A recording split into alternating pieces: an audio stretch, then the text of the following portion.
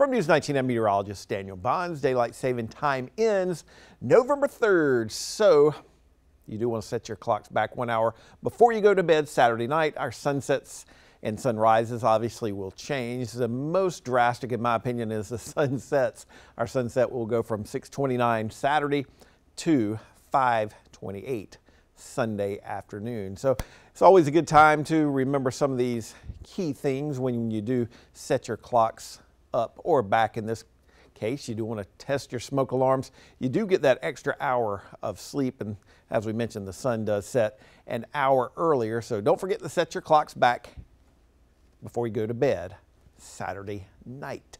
We're continuing to watch this area in the tropics. Hurricane Center gives it a medium or moderate chance of further development. So far this storm season we've had 15 named storms, 10 hurricanes, four major hurricanes. The last one was Oscar. For us here across the Midlands, we expect some clouds and sun, some mild temperatures. It's going to be warming up for the rest of the work week. And at this point, we're not expecting any kind of, we'll call it organized rainfall. There may be a stray sprinkle or two this afternoon, but once again, very isolated activity if we were to get any rainfall whatsoever.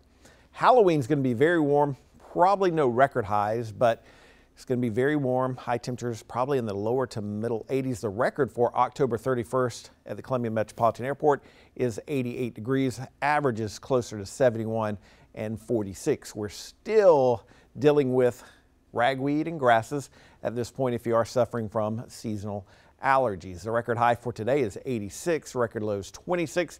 And back in 1959, we picked up nearly two inches of rainfall as we do move through the rest of your Tuesday. As we mentioned, we can't totally rule out that very small chance for a stray shower.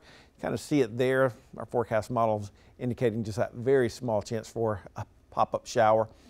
That may be the case tomorrow morning as well. A little bit of fog possible Wednesday morning. All that will kind of mix on out and then we'll see partly cloudy to mainly sunny skies. Our forecast model showing trace amounts of rain over the next couple of days.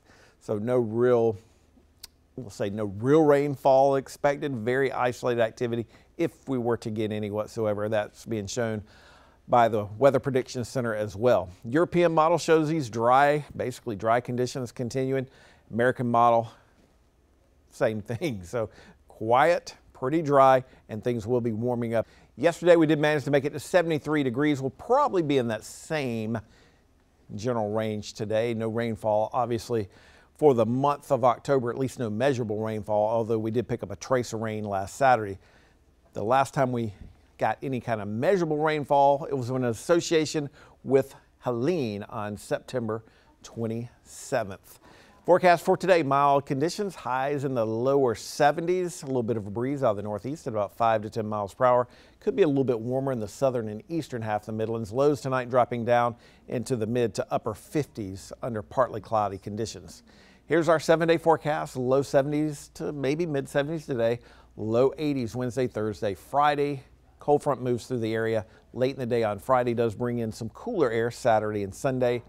High temperatures returning to the middle 70s and we'll be back to near 80 degrees it looks like by Monday. The forecast for Myrtle Beach looking pretty good over the weekend with highs in the middle 70s. Charleston near 80 on Saturday, 75 on Sunday with maybe a stray shower Sunday, otherwise just partly cloudy skies. Clouds kind of sticking around in Greenville on Saturday and a little cooler on Sunday with temperatures right around 70.